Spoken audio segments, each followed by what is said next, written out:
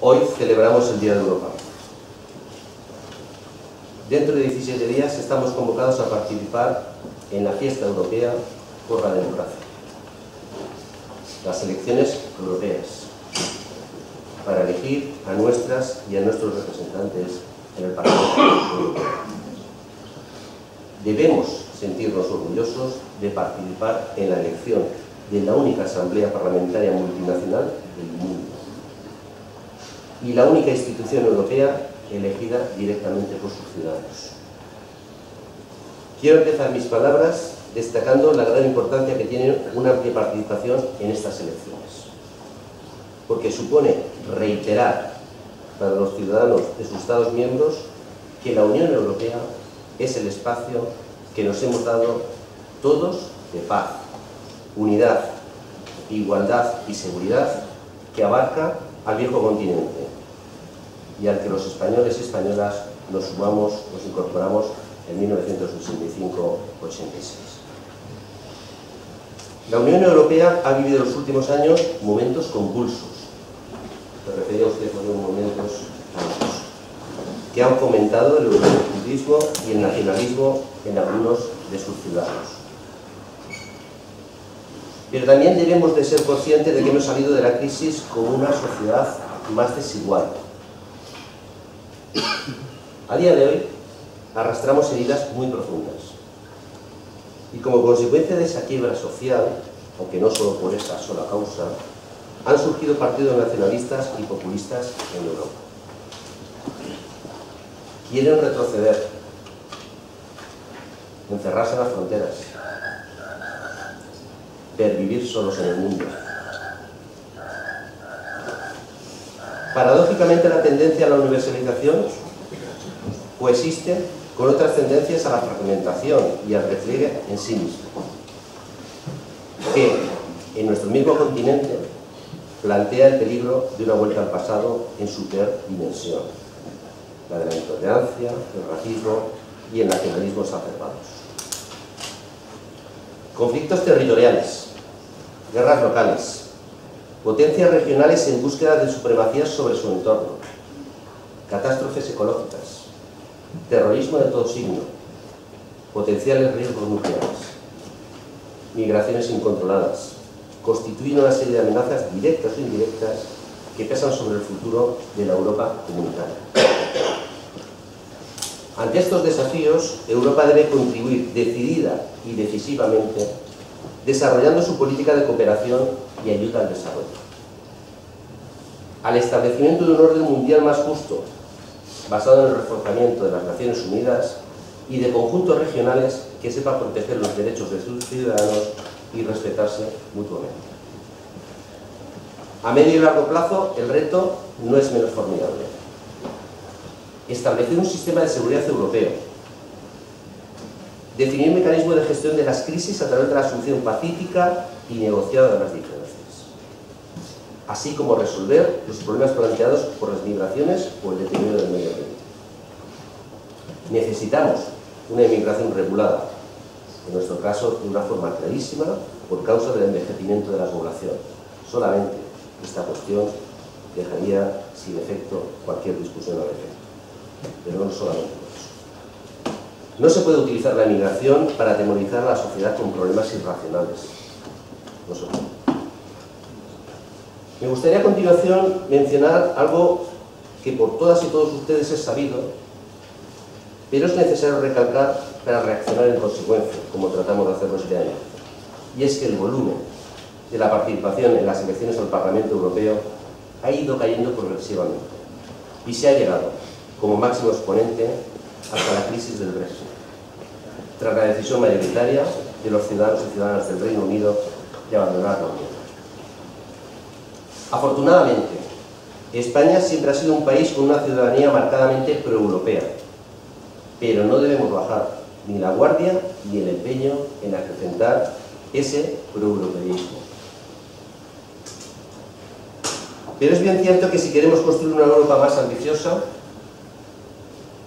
una de las tareas pendientes pasa por explicar mejor a los ciudadanos cómo funciona y en qué les beneficia la Unión.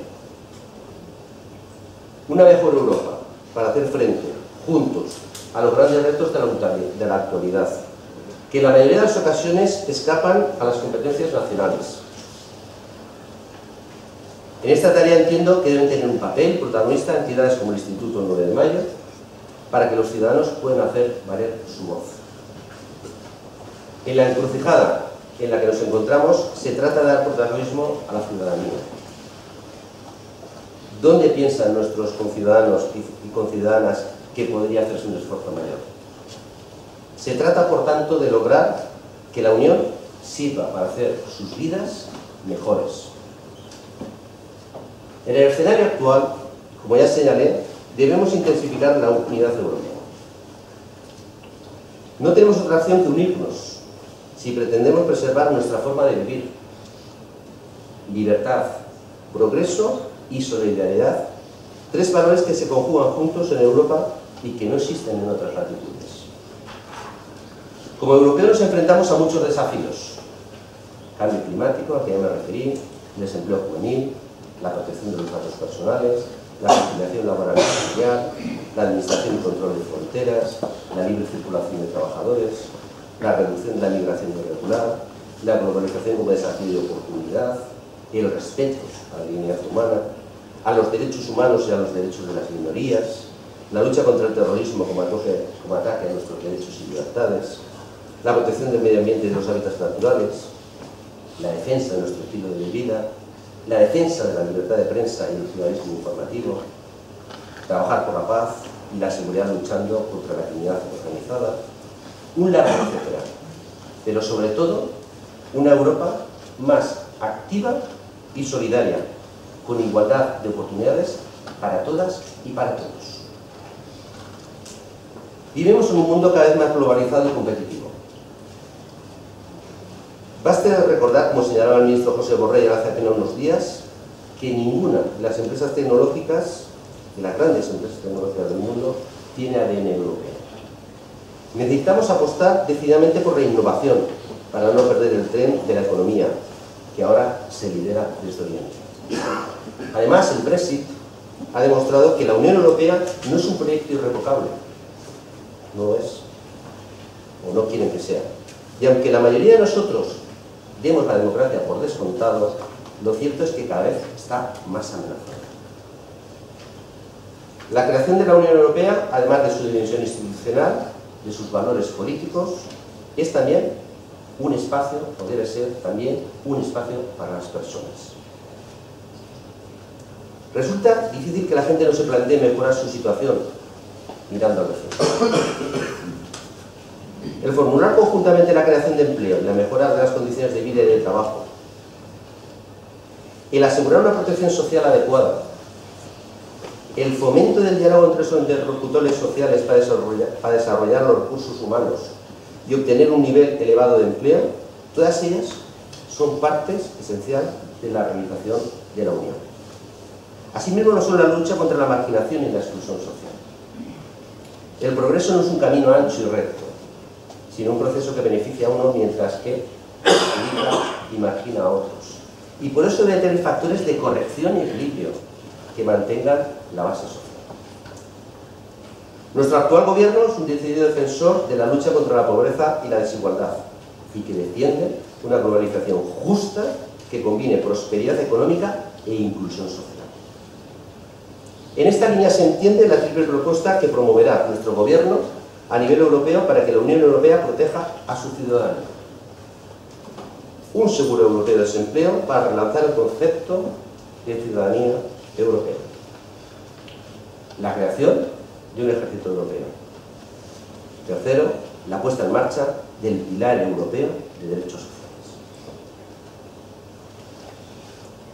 Me gustaría terminar mi intervención, además de reiterar una vez más mi enhorabuena a don Luis Miguel Romero de Villafranca, compartiendo con ustedes una pequeña reflexión.